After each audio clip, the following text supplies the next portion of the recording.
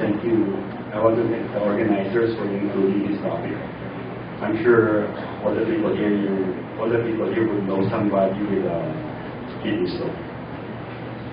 Over the next 20 minutes, I will discuss uh, urolithiasis. You an overview, its diagnosis, its medical and surgical management, uh, some American Urologic Association guidelines, and a take-home message. So what is urolithiasis? It's a, a disease where you have a stone in the kidney, the ureter, or the urinary bladder. It's very common in the U.S. Uh, with a population of around 320 million. 9 to 10 percent of all the people will develop a kidney stone in their lifetime. Stone recurrence rate is as high as 50 percent in 10 years. Once a stone former, always a stone former. It's more common in men than in women. There's a high prevalence rate in Southeast Asia because of the temperature. And in all jobs we're in, patients sweat a lot. So our seamen, our construction workers, they all will have an increased incidence of the developing stone. It's correlated with weight and body mass index. Obesity, diabetes, hypertension, and gout, all of these disease entities are increasing worldwide. And this disease and these factors will increase stone formation worldwide. For patients with these diseases, uh, their urine uh, will change in composition. There's an increase in calcium and uric acid in the urine and a decrease in oxalate, all, all leading to an increased incidence of stone. So what is stone formation? It's all about physics, uh, solutes and uh, solutions when you increase the solute, when you eat a lot of salty food, eat a lot of peanuts, eat a lot of soy protein, you end up with a supersaturated urine and form a stone. Or if you get dehydrated, you make the solution more concentrated, you end up with a stone. In patients with a reduction of urine flow due to obstruction, if they have uh, uh, a stricture or some form of disease, preventing normal evacuation of urine from the bladder, they will develop stones. Now, there are a lot of types of, there are lots of types of stones, but the bulk of stones, almost 75%, are produced by calcium stones, mixed stones, and uric acid stones. My discussion this morning will, will center mostly on calcium oxalate and uric acid stones, which is primarily the number one root of stones in the Philippines. Stones come in many different shapes, sizes, colors. Patients ask what type of stone they have. We can't tell them based on what it looks like. We have to do a stone analysis. Stones can be described uh, based on location. If they're in the kidney, they're nephrolithiasis.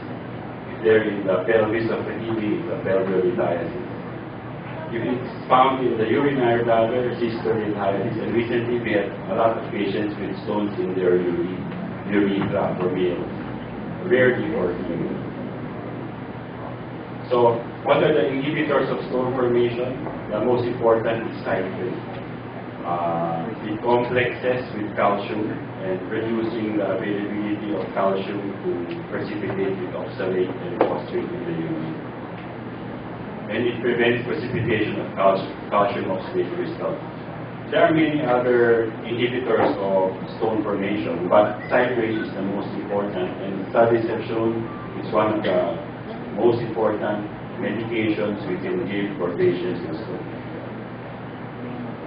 So, now that we know what the, uh, what, what produces and prevents stones, how do we diagnose it? As clinicians, we have a lot of patients and uh, we need a basic tool to identify which patients have a possible stone.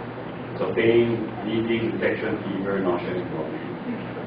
Now the pain, pain in renal colic is caused by stretching of the collecting system or ureter.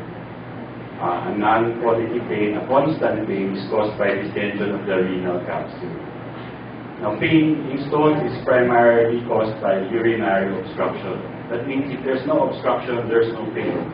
Patients may have stones for years and not feel anything. then all of a sudden they have an abrupt onset of severe pain.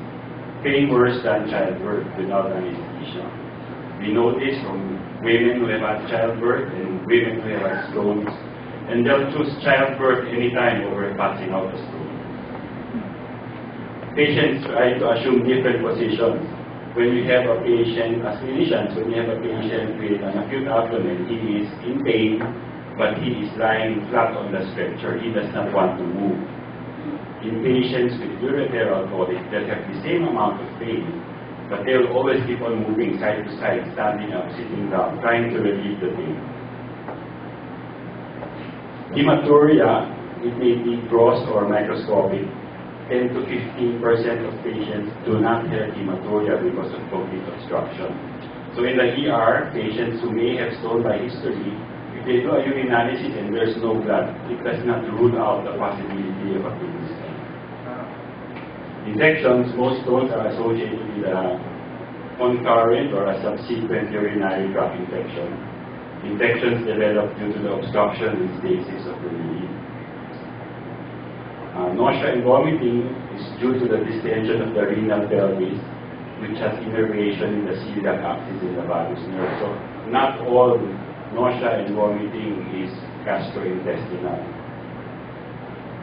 Now the pain in, in urethritis normally is uh, determined by location. If the stone is in the kidney, the pain is usually in the back. As the stone progresses down the ureter and approaches the bladder, the pain goes to the lower right and left lower quadrants all the way down to the scrotal area and the labia. So patients, men experiencing sudden onset scrotal pain should be evaluated for kidney stone.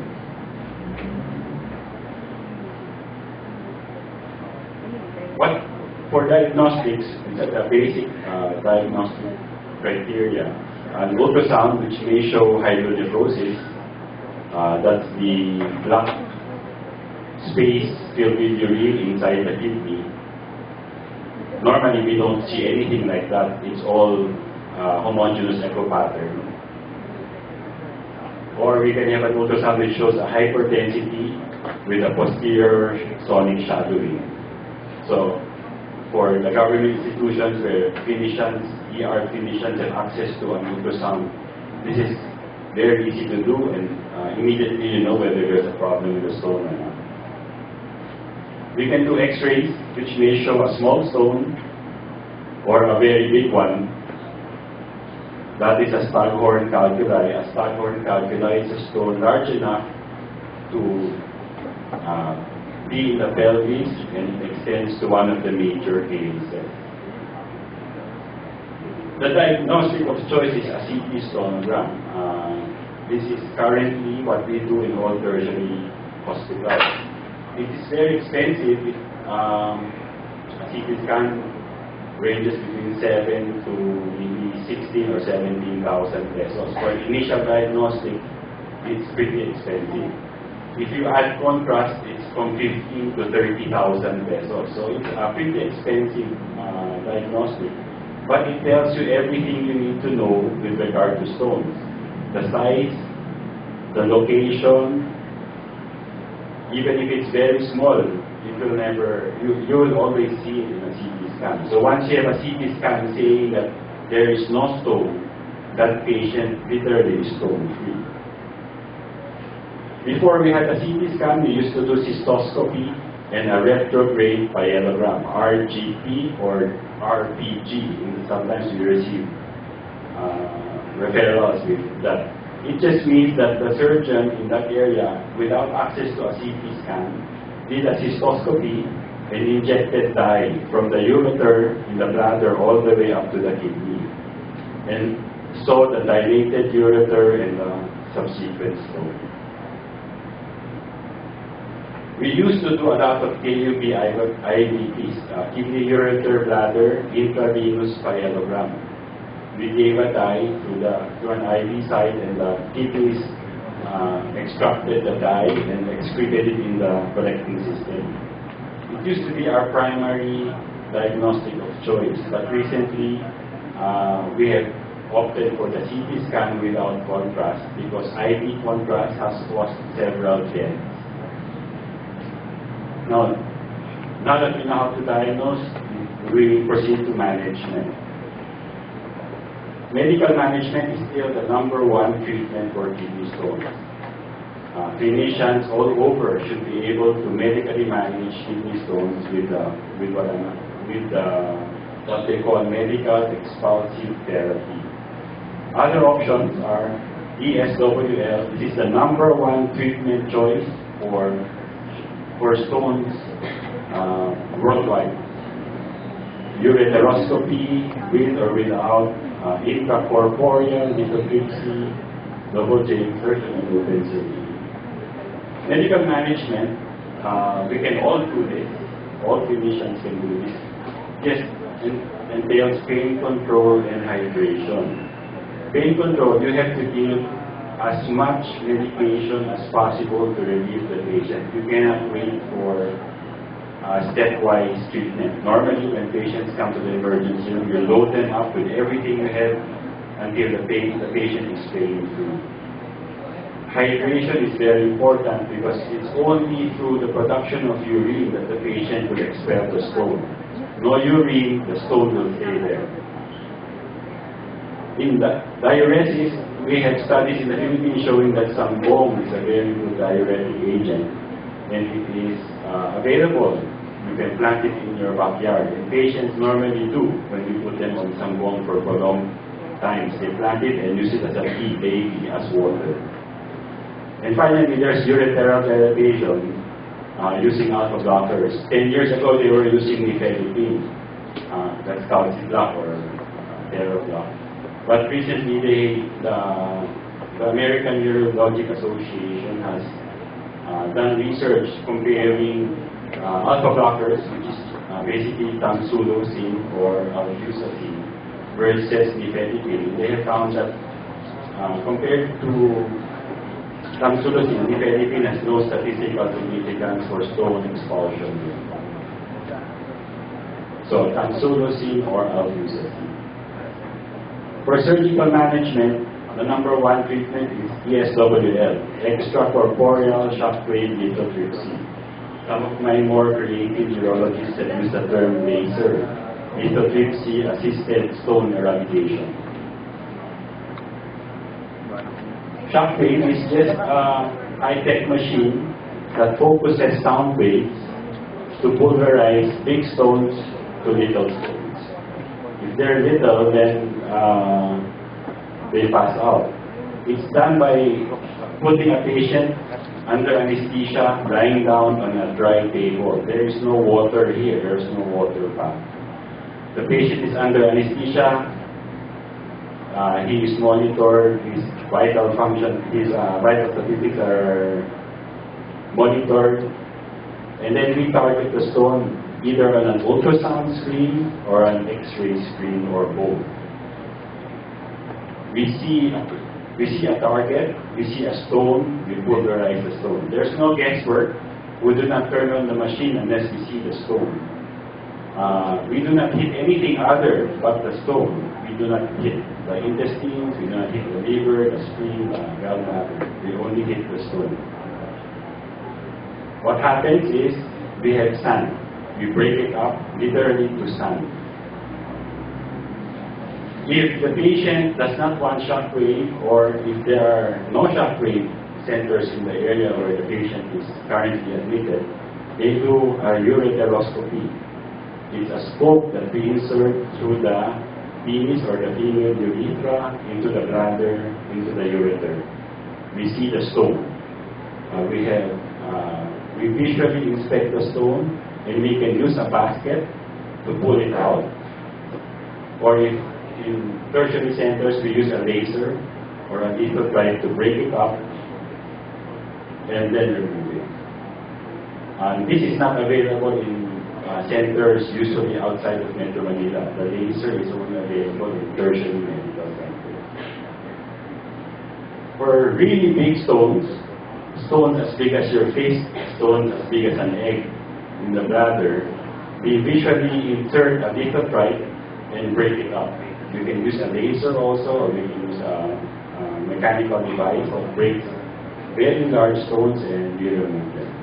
It's called intracorporeal lithotripsy as opposed to extracorporeal, the shock because we are inside the patient's uh, body.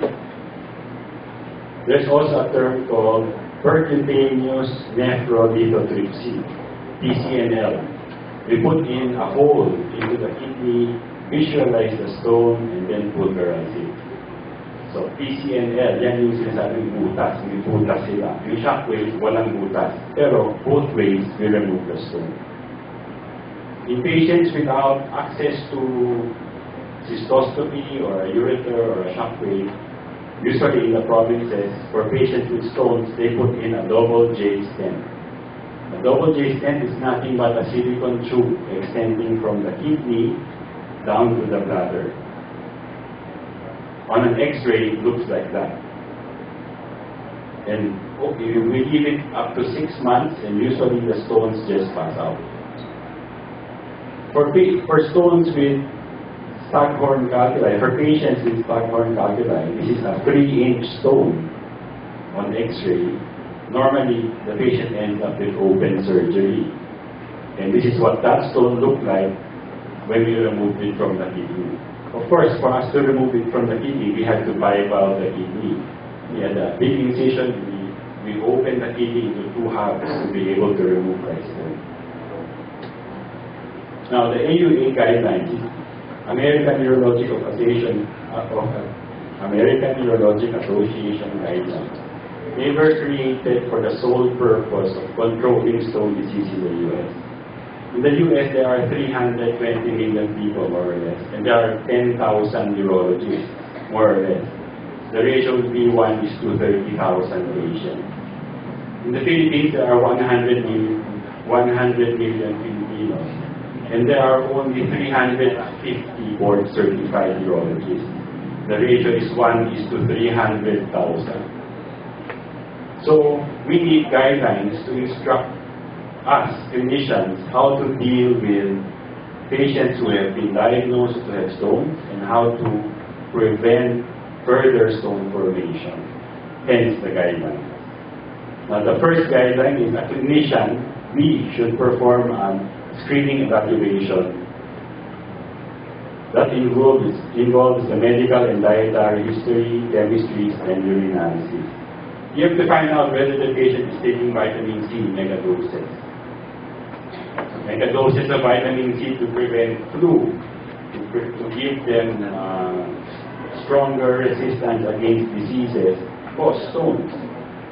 The RDA of vitamin C is 60 milligrams. We have patients taking up to 3,000 milligrams per day, and they form stones. You can also ask them about whether they eat a lot of nuts or whether they drink too little water. All of these things in the history will tell us that this patient is prone to developing a stone. Clinicians should obtain parathyroid hormone levels to check for hyperparathyroidism. When a stone is available, if a patient presents, the, presents us with a stone, you should have that stone analyzed.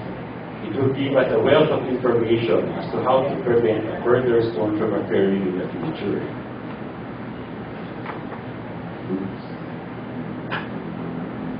We should do a 24-hour urine collection and ask for calcium oxalate, uric acid citrate determination sadly, oxalate and citrate are uh, usually not available, even in tertiary centers. So we end up with only calcium and uric acid. But still, having the pH, calcium, and uric acid determinations for 24-hour urine collection is critical in the management of patients with stones we should recommend to all stone formers a fluid intake that will achieve a urine volume of 2.5 liters per day. This is the main pillar for stone prevention. All patients will have to increase their fluid intake more than 3 liters or 3.5 liters to prevent stones. We have to emphasize that uh, engine worker in a ship has to take 5 liters of liquids per day to produce 2.5 liters of urine because they will be sweating 2 liters in the hot environment that they work in. This, we can tell, this is very important. We should counsel our patients with calcium stones, which are most of our patients, and with relatively high urinary calcium to limit sodium, that means no, no patis, no toyo, no maggi, no seasoning, and to consume a regular amount of calcium. We should counsel our patients with calcium oxalate stones and high urinary oxalate to limit intake of oxalate, oxalate-rich food.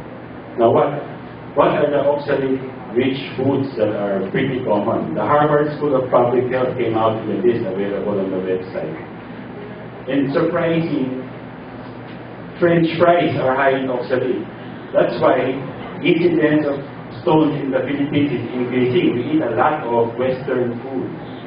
French fries, potato chips, soy and tofu, brown rice.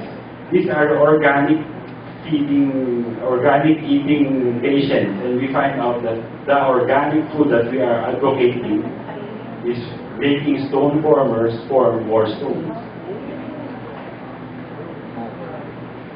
For patients with calcium oxalate, no soft drinks, no Coke, no Pepsi, no RC Cola, no dark drinks with phosphoric acid. But they can take the other drinks like Mountain Dew, 7 Up, Royal Tru-Orange. Diet should be normal in calcium, low in sodium, and low in animal protein. Low in calcium, uh, normal in calcium. It's important that even 10 years ago, we told all our patients with calcium stones to stay away from calcium. Common sense. But recent studies have shown that if you have a normal amount of dietary calcium, the calcium uh, helps in the gastrointestinal, uh, prevents like in the prevents the gastrointestinal absorption of oxalate. So having a normal calcium diet will decrease your incidence of having calcium stones. Really, that has just uh, recently surfaced. So, but the key here is dietary calcium, not calcium in supplement form. The studies show that if you give patients they use a study on nurses. If you give patients calcium in dietary in a tablet form, those patients develop kidney stones. As to, but if they take it in milk, they don't develop kidney stones. So, orthopedic surgeons feed stone patients to urologists by giving a lot of calcium and say low in animal protein animal protein. Uh, physicians should counsel patients with uric acid stones and calcium stones who have uh, and who have high uric acid to limit non-dairy animal protein. Now, what is what is to limit protein? An 8 ounce piece of meat has 69 grams of protein. 69 grams. The recommended daily allowance for American men is 56 grams per day, per day, and for women 46 grams per day.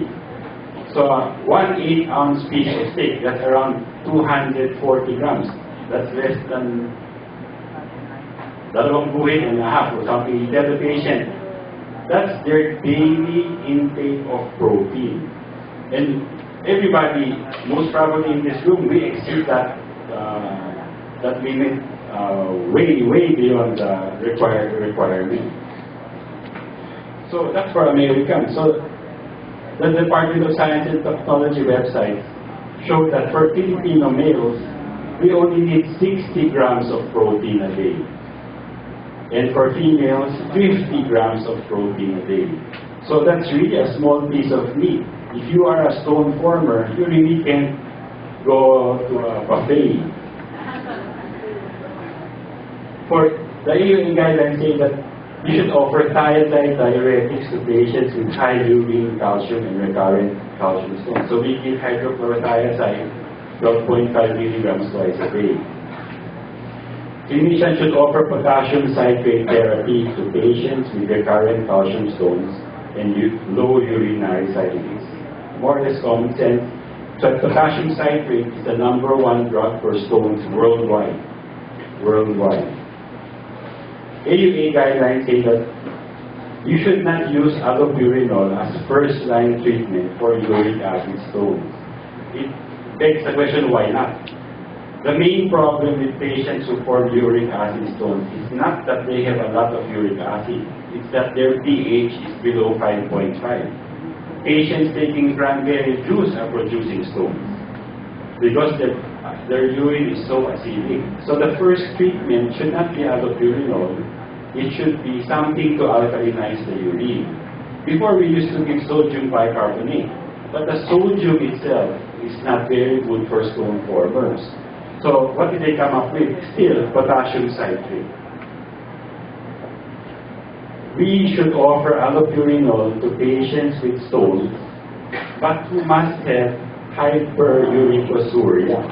That means, on the based on the 24-hour urine collection and uric acid determination, if they have hyperuricosuria, that's the only time you can give allopurinol. And you don't have to have hyperuricemia. They can be normal uric acid levels in the blood, but we'll still give allopurinol. We should obtain a 24-hour collection for stone risk factors within six months of treatment. Treatment for kidney stones is long, lifelong. Six months is the first time you'll do a repeat 24-hour urine collection, which is pretty expensive. It's about maybe 2,000 pesos.